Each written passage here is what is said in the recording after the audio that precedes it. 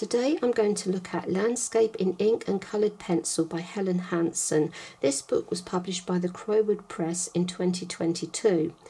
Now I got very excited when I saw this book. I know I often get excited about art books, but I don't have one on ink and coloured pencil. This is something I've been doing for years with my mixed media. I love to add a little bit of coloured pencil. Sometimes I use water soluble, but I also love dry pencil. So to actually find a book that I could add to my collection that I don't have before was really exciting for me. Now we're going to just have a look at the back here because I didn't know much about Helen and it turns out she was a printmaker and that's probably how I've missed her over the years but she's also an experienced artist and tutor. In this book, she's going to teach you how to integrate ink and coloured pencil in a creative way. Enjoy combining simple techniques to develop your style and give your landscapes a real sense of place. Now, with this book, you may look at it and think, oh dear, it's very complicated. I'm not going to be able to do a picture like this. How can I do this? But there's so much information in here. Unlike some of my other books, it's not a purely inspirational book. It's not purely step by step. You have a combination. There is quite a lot of text. You are going to have to read it. But you will be able to create a beautiful landscape. Now here we have all the picture contents, which as you probably also know, I love to see. Makes things so much easier to find and you have not just things you'd expect to see like materials and equipment but things like translating the landscape the importance of integration seeing the whole picture. Here we have an introduction to Helen and what to expect from the book. These three pictures were etchings and so was this. This was her final etching and this was her first ink and coloured pencil. Now this is a lovely picture but with this one see how beautiful this is lovely soft shading.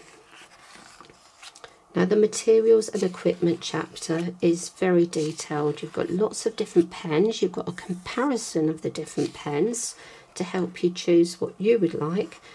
You've got lots of information on the coloured pencils with also the numbers from the different ranges, the papers, the extra equipment like pencil sharpeners and blenders. So that is everything you need to know about the equipment. We then move on to translating the landscape. The pictures are just so beautiful in here. So there's lots of advice on ways to think about your picture, how you'd like to create your picture, some inspirational books that Helen has used. We move on to composition. I just think the pictures are just so beautiful. It's a book that I observing and breaking rules. I really like the fact that you can break the rules in art. The rules are there as a guide, but you, it's your picture. You can do whatever you want. Maybe I'm just a bit of a rebel with my art.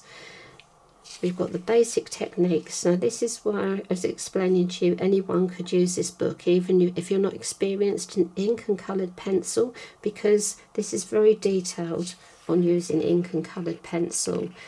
So again, it's not step by step, but all the information you need is here. You have got lots of examples, mark making, basic technique in coloured pencil, everything you need to know there to actually use this book. We've got the extras on creating textures and lifting out. There's a lot in this book, so I'm just flipping through. And then we have putting pen to paper, how to actually compose and progress with your picture. The importance of integration. So as I just mentioned, it, there is a lot of text, but it's all very relevant. It's all very easy to understand. So it's a book that you really do have to read properly to get the full benefit of the book. But it's an absolute joy to read. A closer look, this really appealed to me because I love things like tree bark and rocks and pebbles. I really like drawing them have to move through a little bit quickly because it's 160 pages seeing the whole picture. I love these recipes for deep shades. Instead of just using a grey, you mix your own grey. Really pretty. And coming up to finishing touches. Working on a series, I really like this. And this is where you have some step-by-step -step instructions. You've got two projects with step-by-step -step instructions. Summer waterside and quiet backwater. And in a minute we will have a little bit about the seasons coming up, which is really nice. We can find this page here. We've flipped through a little bit. So four seasonal projects.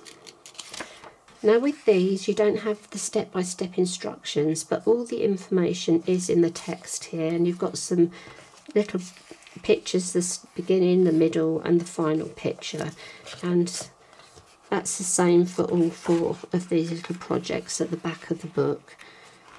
So you have everything you're going to need really. You're definitely going to be inspired by this book.